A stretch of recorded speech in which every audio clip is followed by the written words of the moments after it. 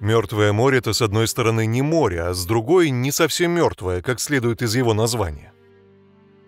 И тем не менее, в настоящее время некоторые разрушительные события приводят к тому, что Мертвое море действительно умирает.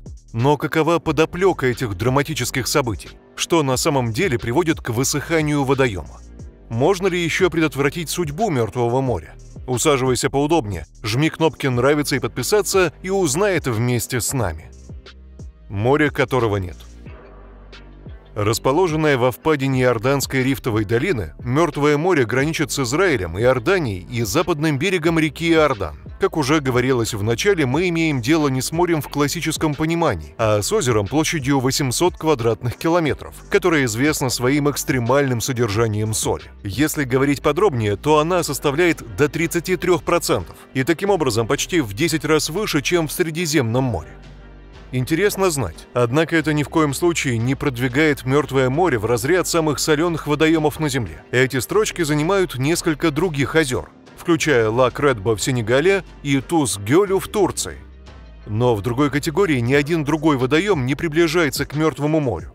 Находясь на глубине 430 метров ниже уровня моря, оно продвигается вперед, чтобы стать самым глубоким озером на Земле. Но что означает слово «мертвое» в его названии? Исторические источники указывают на то, что этот термин был в ходу даже в древние времена. Но если говорить подробно, то этот термин тесно связан с идеей о том, что водоем, в котором столь велико содержание соли, не может приютить жизнь. И даже если на первый взгляд кажется, что Мертвое море не насчитывает ни одного естественного обитателя, это заблуждение.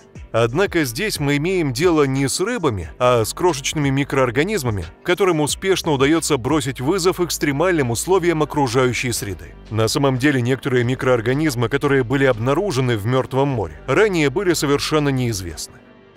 Поскольку обилие соли изменяет плотность воды таким образом, что все, что плавает в воде, становится относительно легче, говорят, что утонуть в Мертвом море было бы практически невозможно. И хотя вода исключительно хорошо переносит тела купающихся, это не совсем так. Ведь на самом деле несчастные случаи, когда люди чуть не тонут, там не редкость. Бывает, например, что люди, расслабленно плавающие по воде, вдруг теряют равновесие и впоследствии заглатывают большое количество воды. Такой сценарий может быстро перерасти в борьбу со смертью, так как огромное содержание соли может вызвать серьезное повреждение легких. Соленый магнит для туристов – с другой стороны, соль Мертвого моря обладает и некоторыми приятными преимуществами для человеческого организма. Например, люди, страдающие хроническими кожными заболеваниями, хотели бы искупаться во всемирно известном озере. Поэтому в обычные годы в этот регион стекается гораздо больше трех миллионов посетителей, чтобы насладиться полезными свойствами соленой воды. Однако для этого даже не обязательно ехать на Ближний Восток. Например, соли для ванн Мертвого моря уже давно можно приобрести в аптеках и аптечных киосках. Но, как бы то ни было, популярные фотомотивы, на которых изображены купальщики, счастливо плавающие на Мертвом море и листающие газету, вероятно, скоро уйдут в прошлое. По оценкам экспертов, не пройдет и 30 лет, как Мертвое море полностью высохнет, оставив после себя лишь экологическую, социальную и экономическую пустыню.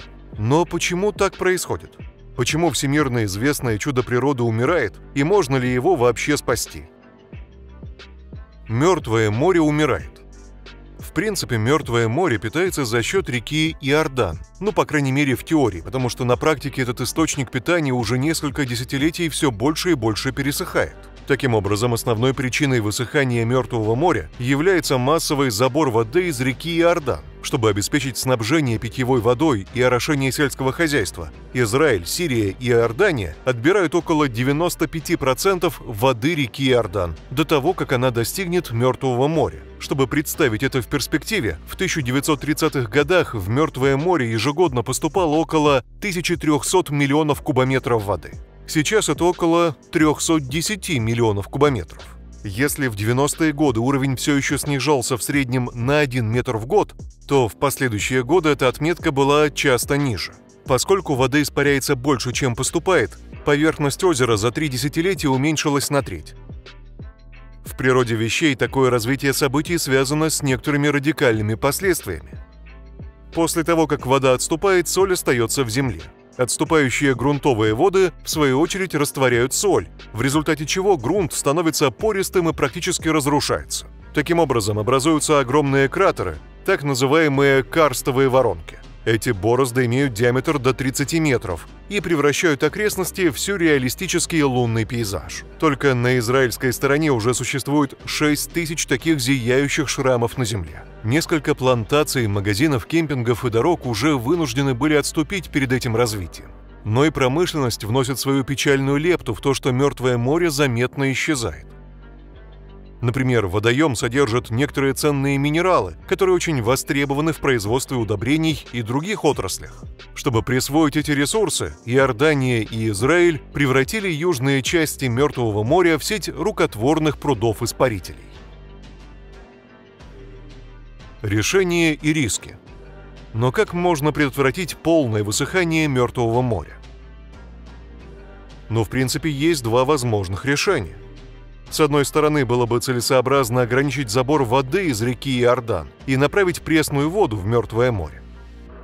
С другой стороны, ответственные лица размышляют над идеей строительства огромного трубопровода, который бы проходил от Красного до Мертвого моря.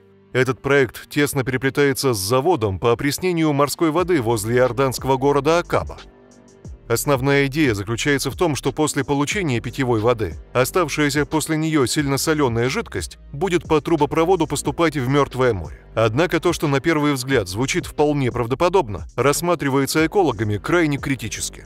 Есть подозрение, что рапа из Красного моря, которая в конечном итоге попадает в Мертвое море, имеет иной химический состав, чем высыхающее озеро. Иными словами, то, что на бумаге звучит как амбициозная попытка спасения, может нанести окончательный смертельный удар по экосистеме Мертвого моря. Независимо от всех пронзительных тревожных звонков, сопровождающих соответствующие планы, идея строительства канала между Красным и Мертвым морями не нова. Действительно, корни этой идеи уходят в конец XIX века. Более того, исследование, проведенное недавно при помощи Всемирного банка, нарисовало весьма позитивную картину. Согласно этому исследованию, проект может быть реализован без колебаний как с экологической и экономической, так и с социальной точек зрения. Первоначально в Мертвое море поступит 235 миллионов кубометров рассола и морской воды, а затем приток составит 700 миллионов кубометров. Но, как уже вкратце упоминалось, этот план также будет равносилен неопределенному выстрелу в темноту. Если сульфатосодержащая вода Красного моря будет смешиваться с кальций, содержащей водой Мертвого моря, то может произойти помутнение воды. Неопределенное будущее. Однако строительство трубопровода сопровождается и другим риском. Например, есть опасения, что трубопровод может быть поврежден землетрясением или в некоторых местах разрушен. Если чрезвычайно соленая жидкость прольется в грунтовые воды, то они станут солеными. На этом фоне нецелесообразнее ли сосредоточиться на сокращении забора воды из реки Иордан? В качестве альтернативы также предлагается пополнять Мертвое море водой из Средиземного моря. Однако в настоящее время эти две концепции не обсуждаются всерьез за столами переговоров ответственных сторон. Ведь на самом деле фактор получения питьевой воды за счет опреснения морской воды является каким угодно, но только не незначительным. Например, многие резервуары подземных вод в Иордании уже почти исчерпаны. В настоящее время жителям страны приходится обходиться менее чем одним процентом от среднемирового запаса воды. Не стоит игнорировать и напряженную политическую ситуацию между Израилем и Иорданией, как будто водный кризис не был достаточно глубоким, в недавнем прошлом между двумя странами неоднократно происходили дипломатические конфликты. Между тем, есть даже опасения, что Израиль больше не заинтересован в строительстве канала. Однако в Иордании ситуация несколько иная. Подготовка к строительству завода по опреснению морской воды, как говорят, достигла финальной стадии. Если все пойдет по плану, то он может быть введен в эксплуатацию уже в 2025 году. Однако в настоящее время будущее Мертвого моря выглядит мрачно. Матасим Саидан, министр водных ресурсов и ирригации Иордании, заявил, что попытки спасти озеро, похоже, сводятся к нулю, и что надежда на спасение Мертвого моря заметно угасает. Итак, друзья, теперь нам интересно узнать ваше мнение. Что ты думаешь о том драматическом развитии, которое уже довольно давно переживает Мертвое море? На твой взгляд, можно ли еще спасти это чудо природы? Напиши нам свои мысли, предложения и отзывы на наше сегодняшнее видео, тем не менее, как всегда, совершенно просто в комментарии. Не забудь поставить нам большой палец вверх и подписаться, чтобы впредь быть в курсе событий.